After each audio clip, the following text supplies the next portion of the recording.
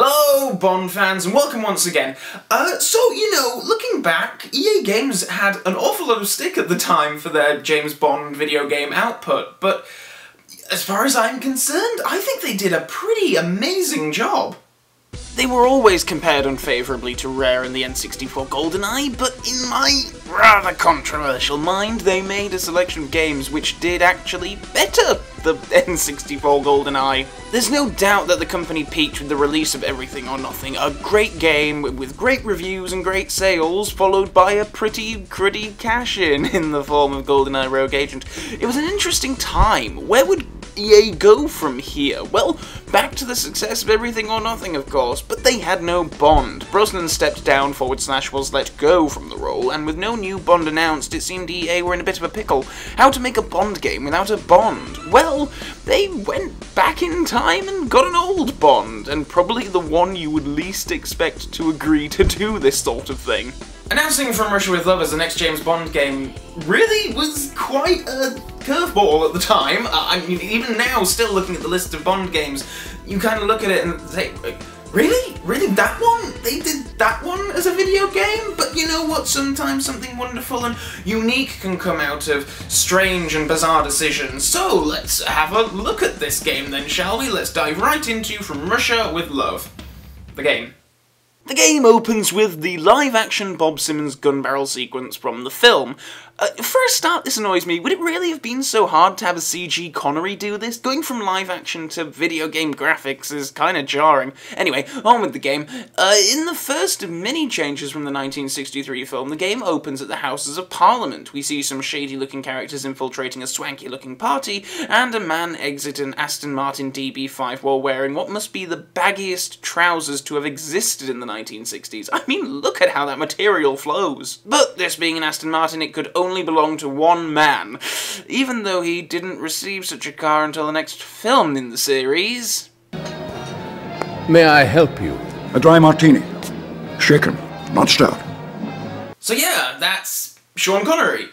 Sean Connery. Like, living, breathing Sean Connery was uh, put in a booth with a microphone and a script and recorded brand new dialogue for this game. Like, not, not a sound alike, not not his son, or, you know, not even reused archive audio from the film. Actual living, breathing Sean Connery recorded dialogue, new dialogue as James Bond. What? Like, oh, I can't begin to, like, express how confusing this was at the time. I mean, this is Sean Connery, this is Sean, I will never play James Bond again for as long as I live, I won't even talk about it in interviews. Sean Connery, like, how did, I, I mean, I, I know this is a long shot, but if anyone who actually worked on this game is watching this video, please get in touch because I would, I would love to know how on earth you managed to get Sean Connery to record new dialogue as James Bond for this video game. Like, I, I, I mean, did someone have compromising photos of him? Did someone have a nuclear bomb over Scotland and threaten to detonate it if he didn't do it? Like, uh, I, I honestly can't think of, uh, uh, you know, I mean, how much money did you pay him? God, I mean, well done, whoever you are, whoever sprang this, but, you know, bloody good job, well done. I'll talk more about Connery as the game goes on, but suffice to say it is initially quite shocking. Positively shocking. To know that he actually came back to do this. So, Bond is at Parliament to look after the Prime Minister's daughter, played by... Natasha Bedingfield. Okay, I take back everything negative I said about Mya in Everything or Nothing.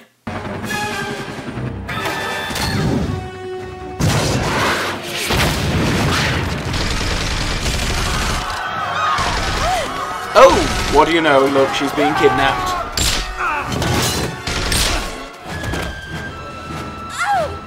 Too bad. The game is over, Mr. Bond. I think it's just begun. Level begins proper with bits of tutorial and instantly you can tell the game uses the same mechanics as Everything or Nothing. The lock-on shooting, the vaulting, the cover system, the weapon selection interface, etc. I'm not complaining about this, the mechanics worked fine for the other game and if something isn't broken then no need to fix it. This is a very exciting game opener with Bond running around the Parliament building, blasting his way through baddies, Bond theme trumpeting away. I can't think of a better way to begin a Bond game. Oh! Shut up! Fortunately, Natasha Bedingfield's presence doesn't sully the opening of this game too much, but I mean, did anyone even tell her she was meant to be playing a Prime Minister's daughter? I mean, I didn't do any research into this, but I'm pretty sure that senior politician daughters from the 1960s did not talk like they were auditioning for Tart number three in Oliver the Musical. My daddy's a very powerful man, you know. You can't just go around Shut up! Oh, my daddy's a very powerful man, you know. You can't just go around doing this, Bill Sikes. Any ill feeling from this unfortunate casting is nullified, though, once you make it to the rooftop, don a jetpack, and face off against a helicopter. Oh lord, this is the 1960s Bond video game done right. I don't even care that Bond doesn't get his jetpack until two films more. This game may be called From Russia with Love, but it takes elements from all of Connery's first films, and I'm fine with that.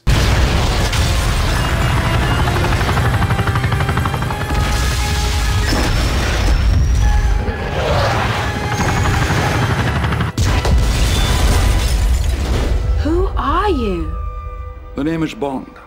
James Bond.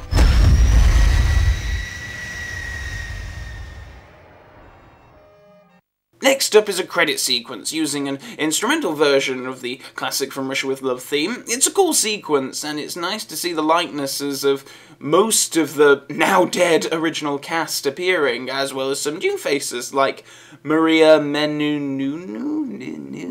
Uh, uh, uh, oh, I earn Bedingfield again. The next level begins following the From Russia with Love story. You play a man with a Connery mask running around a, a maze trying to catch an unseen assailant. There's a quick cameo from what I think is Aki's car from You Only Live Twice here, before the man in the Bond mask is killed and we are introduced to Red Grant, his garrote watch, and Rosa Klebb. Record time, Mr. Grant. You are indeed the killer I'm looking for. When do I get to kill the real James Bond? After he steals from the Russians their new Lektor decoding machine. And Bond is going to do it for us. We assume that's who MI6 will send. There is a girl in the Russian consulate in Istanbul, Tatiana Romanova, who I've ordered to help. She believes I am still with KGB. Won't MI6 suspect it's a trap? My reading of the British mentality is that they always see a trap as a challenge. And then you can avenge the death of our Dr. No. Let Bond's death be a particularly unpleasant and humiliating. One One of my main criticisms about From Russia with Love, the film, is that the plot itself is actually quite complicated and convoluted, and it, it, it takes a while to set up. Um, and even when it is set up on a first viewing, you're kind of watching it going, okay, well, he knows that they know it's a plan, and they know that he knows they know it's a plan, but does she know that they know that he know? And it, it can be very uh, confusing. But in this game, they do a really good job of simplifying the setup, but not simplifying the plot itself, which I think is really commendable. Next up is an MI6 mission brief, which weirdly isn't a cutscene but has you controlling Bond around the MI6 office. And I absolutely love this. It really makes the thing more engaging and less of an information dump, which it could easily have been. Plus, it's so much fun being able to walk up to Moneypenny and harass her. Oh, James. A good sound alike for Bernard Lee talks you through the plot. Bond needs to go to Istanbul to meet Tatiana Romanova, who's fallen in love with a picture of Bond, and will give him a Lektor decoding machine so long as he brings her back to London with him. Once the brief is over, it's off to Q Branch for some training and fun in the lab. Again, I know Q wasn't named as such in From Russia with Love the film, but receiving gadget explanations from a Q that looks like Desmond Llewellyn while controlling Bond around a classic Q lab from the 60s is just awesome. If this were all just one big cutscene like the ones in Everything or Nothing, it could become dry and boring, but controlling Bond around these environments actually makes the information dumping quite engaging. Once that's done, it's off to Istanbul to meet Kerim Bey, James, my friend. How nice to see you. Kerim Bey. It's been too long. who apparently knows Bond already. Your man Q sent it ahead. Warned me not to touch any of the buttons. You were wise to take his advice. Otherwise, you might not live to regret it. Uh, Okay, when has Bond ever been respectful of Q's advice? A bit of a buzzkill there, James. Anyway, whatever, as to the Aston Martin is cool. This is the game's first driving level and presents a significant step down from the driving levels of previous games. This car, though gorgeous and beautiful, handles uh, appallingly. It's a chore to drive this bloody thing, and I can imagine that that's authentic. Obviously, cars 40, 50 years ago didn't handle as well as cars today, but it just doesn't make for a fun gaming experience. I shouldn't get too carried away though, there's still a lot of fun to be had in this game's driving segments. I just wish the car had a few more usable gadgets. The only thing aside from machine guns and missiles is the tyre slashing thing. Uh, oil slicks would have been appreciated. Even the ejector seat would have been fun when Kerim Bey's explanation's gone a little bit too long. The driving bit soon leads into repelling and tank destroying before the game segues into the next level which finds Bond at Station T where an attack takes place, which provides a good excuse for Bond to try out his new Q-Copter gadget. This thing provides a similar function to the Q-Spider from Everything or Nothing and it is largely used to get the drop on enemies and open very large doors several hostages, and a really cool boss fight with a Spectre helicopter later, and it's back into the Aston for more driving shenanigans before Bond and Kerim get to play dress up as soldiers. Oh yeah, that's another kind of cool feature about this game. You can actually pick and choose what clothes you want Bond to wear in most situations. It's a strange feature, and you wonder why the game makers thought gamers would give a crap about whether Connery was wearing his tux or his stealth gear, but I actually find it quite novel. If only they had a Roger Moore style safari suit in this wardrobe, I think I'd be ten times happier. Next up is a really cool interpretation of the Cistern sequence from the film, this time featuring Bond using a Gatling gun to take out Russian soldiers along the way. Quite the place, isn't it, James? The Emperor Constantine built it as a reservoir 1600 years ago. He drowned his enemies and ex-wives down here too. Jeez, Bond, take it easy. God, is he on a real downer in this game, or is it just me between this and the Q Branch comment earlier? I mean, cheer up, James. Why so serious? After lots of good shooting action, Bond and Kerim do some spying on the Russian consulate and part ways so Bond can find some blueprints to the consulate and exit the Cisterns in style with another jetpack. It's incredibly contrived how the jetpacks end up in rooms with Bond, but flying around in these things is just about the funnest thing in the whole game. The helicopter level from Everything or Nothing was great, but controlling a Sean Connery jetpack wearing Bond is just a whole other level of awesomeness. Complete and total geekgasm. Next up is the Gypsy Camp, which recreates the girl fight from the original film and allows Bond to at least have a smirk and display some trademark Bond flippancy. He's a lucky man, the chief's son.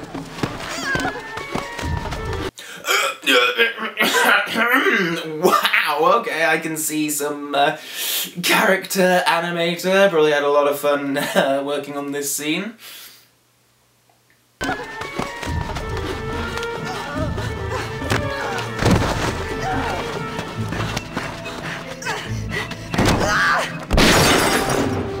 Like in the film, shit kicks off and you have to run around rescuing gypsies, killing bad guys, etc. Uh, this is a really fun level and one of my favourite in the game. It's also one of the few sequences from the film that doesn't need to be amped up too much for the game. I still don't understand why they didn't just adapt a more action-friendly Sean Connery Bond film for this game, but you know what, oh well, so far so good, really. Speaking of scenes being amped up, the next level is probably the most ridiculously exaggerated from the film in the entire game, but before that we finally meet Tatiana, who is being briefed by Klebb, who seems to retain her lesbian traits from the movie version. But what am I to do with the English agent when I meet him? Whatever he asks. You may go.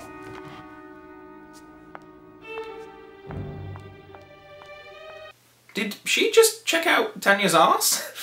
The Sniper Alley level is one of my favourites in the entire game. I wish more levels entailed running around through dark, smoky Istanbul streets. Anyway, Bond acts as cover for Kerim, who is out to get Krylenko, who lives in the same Bob Hope movie promotion as in the film version.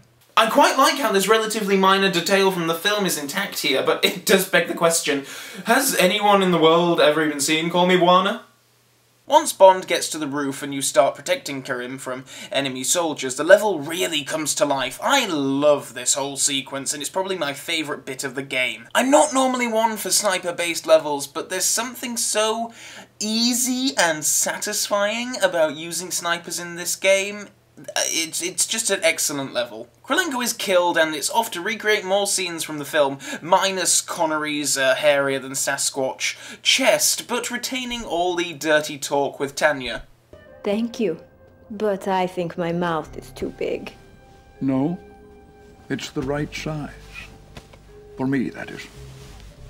It's a blowjob joke, kids! Is that the correct time? Russian clocks are always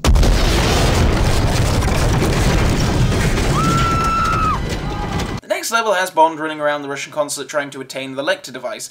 Oh yes, something I've not talked about yet. There's a new weapon in this game called a serum gun, and when you shoot enemies with it, it turns them against each other. It's an interesting idea, but not one that gels with the game's whole classic feel, really, but you know, what, it's fun nonetheless. After running around and going up and down in lifts, Bond and Tanya eventually find and take the Lektor. Throughout this level you have to protect Tanya as some enemies will attack her, increasing her... threat meter? Really? Threat meter? We had to call it that? I mean, why not just call it a health meter? It serves exactly the same purpose as a health meter. Threat meter just... Okay, I know this is being nitpicky, but... Threat meter? After escaping with the Lektor, it's another driving level around foggy Istanbul as Bond and Tanya race to the station before the Orient Express leaves. For some reason, it's not quite good enough to just go to the station, though, and you have to take out a specific number of bad guys before you're allowed to go. I don't have a huge issue with this at all, but I do find it slightly annoying that on this level you can't really see where enemies are. So they tell you have to eliminate so many enemies, and then you're just driving around waiting for bad guys to pop up so that you actually have something to do. Bond, Tanya, and Kerim get to the train, and we have a lengthy, highly expositional cutscene which tries to hit all the plot and character uh, beats of the film version, but I, it, it just can't do it in such a, a short space of time. I feel kind of bad complaining about this because obviously this is a game, it's not a film, but when they try to replicate uh, the dramatic, cinematic moments uh, from the film, it just can't do it. It can't compete. Kerim is oft here with little to no care, and we don't even see Bond react to the death of his friend here. I mean, we have the red wine with fish thing too, but it's glazed over, and to be honest, Bond just comes across as looking like a bit of an idiot here. In the film, we knew Bond was suspicious of this man, but had no real reason to doubt him. Here, he doesn't question the guy at all, despite the constant scowling and glances of contempt, and is actually quite perky when he sits down down for food with the guy. So tell me about the escape plan. The plan, old man, is that you die on the train. I should have known. Red wine with fish. The legendary fight with Grant in the train carriage from the film is uh, semi-replicated here in the dining cart, but you don't actually control Bond fighting Grant, which is such a missed opportunity. Would it really have been so hard just to say, like, you know, press B here, press X here, or just something, anything? Like, one of the best fight sequences in all of Bond how could they not let the user control Bond during that fight sequence? Instead, you spend a while fighting some goons while Grant and his own henchwoman, Ava Adara, uh, could have done with a bit more of an introduction to her, maybe? Anyway, they run off with the Lektor while Bond gives chase, facing off an armoured train and eventually Grant in a boss fight which is actually quite good, even if Kerim's death is very much glazed over here the great James Bond. I've killed your friend Kerim Bey. You're next. Okay, we're just gonna keep on playing? Right? Not gonna uh, give that mention a second thought? Nope. No grieving? Nope. Okay, well, let's just carry on shooting then. It's not as if Kerim was a warm, lovable, likable character that we came to really appreciate, even in this video game version. Never mind.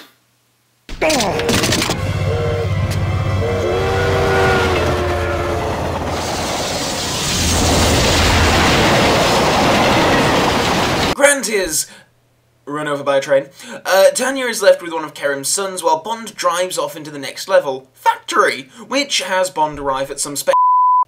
Oh yeah. Sorry, I forgot we're in the legally ambiguous years here. Sorry. Uh, Bond arrives at some octopus factory and sets about destroying the place. It's one of the most fun and action-packed levels in the game, but there's a jetpack in it, so of course it's wonderful. The level also debuts Bond's snow gear. Lovely, sexy snow gear, though no match for a good old-fashioned safari suit, of course. By the way, I love this room when you get to the bowels of the factory. It's such a wonderful Ken Adam inspired design, and oh my goodness, I, I, I, I adore the version of the, the James Bond theme they play uh, during this section.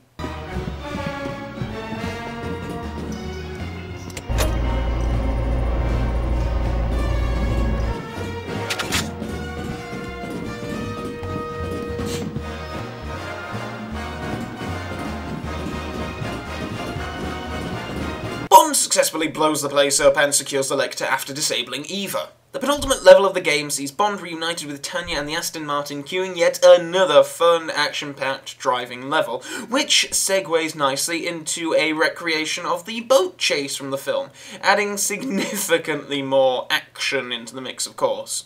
So that's pretty much the end of the game, but there is still one level left, which is really intriguing. Like, have they made an entire level out of Bond's confrontation with Klebb? I, I, I'm really interested to see what happens in this next sequence. 24 hours ago, we received a message from Octopus. They've stolen a nuclear weapon and are threatening to blow up London unless we pay them a hundred million pounds. And you've tracked the weapon to here? We believe it's the Octopus secret base. Quite a lot of artistic license taken with this one, but you know what? I'm willing to roll with it because it is an incredible setup. Yeah, we have a cutscene recreating one of the last parts of the movie with Bond killing Klebb, and then it's abrupt fade, and then all of a sudden Octopus have a nuke that they're going to fire at London unless they get some money. It all turns very Thunderball here, doesn't it? Anyway, it's a really bad segue, but the level itself is totally and completely awesome. One of my absolute favourites in the whole game. I do think that From Russia With Love hits the perfect balance of number of levels and duration of levels. I've complained about previous games having too many levels that last 30 seconds and others well, Rogue Agent anyway, having too few levels, but they all seem to last like over an hour. The balance in From Russia With Love, though, is perfect. I don't think any level overstays its welcome or frustrates me with shortness. It's all just perfectly judged. Anyway, this uh, final level is a perfect balance of so many aspects of the game. Lots of shooting, stunning level design, jetpack segments, grand scale. It's wonderful, and I love how Octopus took the effort to emboss their logo on the stolen nuke before firing it. Eva Adara pops up one last time to have a shot at Bond and serves as a, a mini boss at the level's halfway mark before she foolishly hits full throttle and blows herself up in this like tiny hangar. She was a kind of wasted opportunity of a henchwoman, wasn't she? It might have been interesting to throw some new characters into this classic setting, but she's oft with as much thought as she was introduced which is to say, not much. After disarming the nuke, Bond calls M on his massive mobile phone.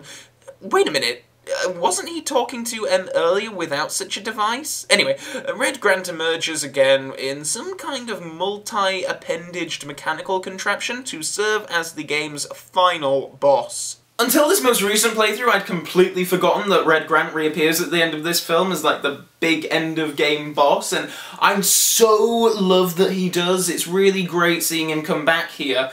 Uh, though I am quite disappointed we get no uh, glimpse of an octopus number one in this game.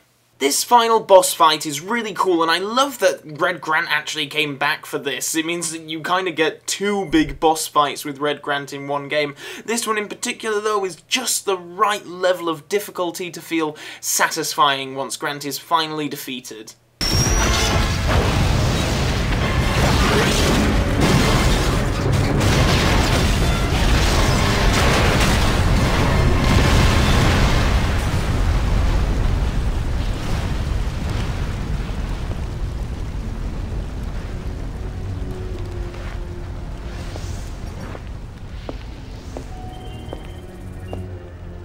You're gonna shoot me in cold blood, old man.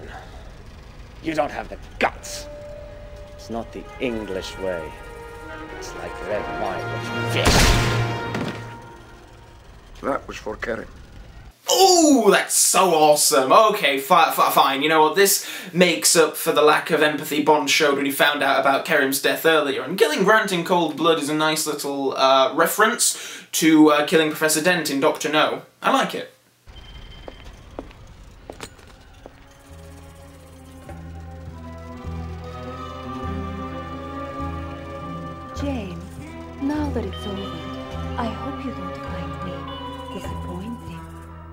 Let you know in the morning. And so that's the end of the main story. So, how does the game fare with its non-campaign features? Well, there are plenty of unlockables to keep you busy here. There are weapon and gadget upgrades to buy, multiplayer characters to unlock, art packs to view, level trailers to watch. Wait, what level trailers? Why the hell would I want to watch a trailer for a level when I could just play it? Curious inclusion. Anyway, uh, some of the more exciting unlockables are four bonus levels. None of these are particularly excellent, but I guess they're good for completists. I generally find them quite dull. They have nothing to do with the main story and only really ask you to perform very basic tasks like kill everyone in the airport, or defuse the bombs in the time limit. If only there was a bonus driving level, now that would be something worth unlocking. And finally, there's a multiplayer feature, which is pretty awesome, to be honest. I never play this half as much as Agent Under Fire or Nightfire or GoldenEye Reloaded multiplayer, but it's actually one of the more unique and interesting Bond multiplayers out there, largely thanks to the variety of play offered by vehicles, jetpacks, and environment tools. My favourite in particular being the missile silo map, when you pick up certain items, you can launch these nukes, which obliterate everyone who hasn't rushed into a locked down area. It used to be so much fun playing this with friends and watching everyone kind of drop what they were doing and run for cover when the countdown started. Overall, it's a really solid multiplayer feature, lots of fun. It's a shame Everything or Nothing didn't have a similar feature, but whatever, the multiplayer here is a lot better than you'd expect it to be, really. So there we go, that's from Russia with Love, the video game, and you know what? It's a really great James Bond game. If you liked Everything or Nothing, chances are you'll like this game too. They're very much in the same vein, and I would say around about on par in most aspects. My main surprise of playing through this game this time was that, well, in my mind, I always remembered infinitely preferring this to Everything or Nothing, but now, playing them in such quick succession, I'd say they really are equal in terms of quality. There's no doubt that From Russia with Love feels more rushed than Everything or Nothing, which felt like it had a lot of time and dedication given to it. From Russia with Love was, so I hear, developed quite quickly after a sequel to Everything or Nothing titled Phoenix Fire was scrapped after Brosnan was dropped as Bond. I'm sad to live in a world where I'll never get to play Phoenix Fire, as it sounds like it could have been a really cool way of building on EA's own Brosnan Bond universe, but From Russia with Love is a pretty good consolation prize. Of course, one of the main draws of this game is that it has Connery playing James Bond again. It is, of course, incredible to have Sean Connery lending his voice to new dialogue for James Bond, but I'd be lying if I said it was a seamless process. Old man Connery voice coming out of young Connery look is jarring, but I don't know if there's any better solution to this. It'd be pretty crap if they used a sound alike and equally as crap if they just like reused audio from the film. So I guess in that case, old man Connery was probably the best way to go. I, oh god, I sound so ungrateful and I don't mean to, but it's just... Uh, you know what, how can anyone not love Sean Connery coming back and recording new scenes, dialogue as James Bond? It, it, it is pretty incredible. None of the rest of the cast come back, as most of them were, well, dead at this point, but the sound-alikes are really quite excellent, especially the guy doing Kerim Bey. The game itself is really just almost exactly the same as Everything or Nothing, taking away some aspects, adding some more, but the basic elements are more or less the same. I do hate the weapon switching interface and how it pauses the game instead of letting you continue playing while scrolling through your weapons, and there is a special circle of hell reserved for whoever invented this special ammo nonsense. It's so frustrating to have to go to the menu to switch between regular ammo and special ammo. Why not make it an easier interface? The driving levels are also a step down from Everything or Nothing. I've already mentioned how difficult it is, or at least how difficult I find it controlling the cars in this game, and yeah, I'm sure it's more realistic that way, but it just doesn't have the same level of fun. I do, however, think the majority of the level design is incredible. It really does feel like a Bond universe. The villains' lairs are perfectly decorated for the era this is set, and being able to control Bond around the MI6 office and the classic Q branch is really neat. I love how the From Russia with Love game universe is really an amalgamation of, I would say, the first five Connery Bond films. You know, we have the Jetpack in there, we have the Aston, we have, uh, you know, a Q branch, but it does kind of beg the question, then, why bother basing the game on From Russia with Love if you're going to take so much from all of the other Connery Bond films? If I had to talk about the main weakness of this game, I think it, it kind of like, it, the game feels shackled to its cinematic namesake. The best levels in this game are the ones that stray farthest away from the film. The opening level at Parliament, the driving segments, the last level, the factory. It's when it gets bogged down into recreating bits of dialogue from the film that it sort of falls apart because it just comes across as so watered down. The sequence on the train, for example, just doesn't have the oomph that it did in the film. So, how could this have been solved? Well, in my opinion, simple. You keep Sean Connery as James Bond, you keep it set in the 60s, you keep all the elements of Sean Connery's Bond, so the Aston, all the MI6 regulars, the jetpack, etc., but create an original story. How awesome would that have been? I mean, if this game had an original story, it could have been a new Bond adventure starring Sean Connery as Bond. Heck, they could have just taken the Phoenix Fire story, changed some elements, the time period, and references to Nightfire, and given it to Connery. I can't get over just how much of a missed opportunity this was. This could have been the seventh original Connery Bond adventure. Yes, I said seventh. I don't count, never say never again. But it's not all bad because what we did get here is a very fun game and a nice apology to us fans for having to put up with GoldenEye Rogue Agent. While it would have been great to have this be an original story, at the time I did like the direction EA were taking the games. Me and my friends would talk about how awesome it'd be if they did the next one with Roger Moore, a game dedicated to The Spy Who Loved Me or Moonraker would have been awesome. I do think EA did a largely great job with the Bond games when they had the license, and I would have loved to see them continue making Bond games until, well, until now.